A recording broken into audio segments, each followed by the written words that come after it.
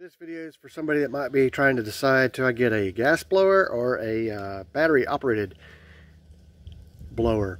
And I'm going to make some real quick comments. There's lots of videos out there on blowers. Bottom line, this uh, Echo is from Home Depot and it is decent. People complained about this tube assembly falling apart. I have not seen that. I haven't really used it either, but it's it did piece up together and it's snug. So I think there's a right way and a wrong way to install it, so keep that in mind. But do you want a electric or a gas? And the truth is, if you got like a little patio home, great, get electric blower. But if you got a big driveway, you uh, in a big yard, you need a gas blower.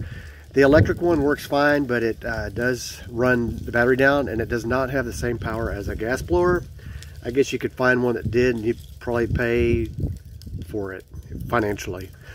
The uh, gas blower comes with a little thing of oil like that because you have to mix it with a gallon of oil, excuse me, a gallon of gas.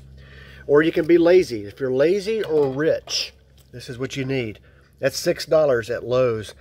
And it fills up the uh, blower probably one and a half to two times.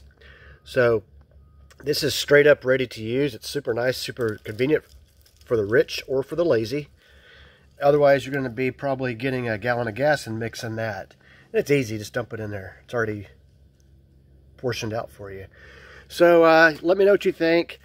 I know you're going to run into a lot of people saying uh, electric's the only way to go, but I'm wondering what's going to happen to that lithium battery when it dies.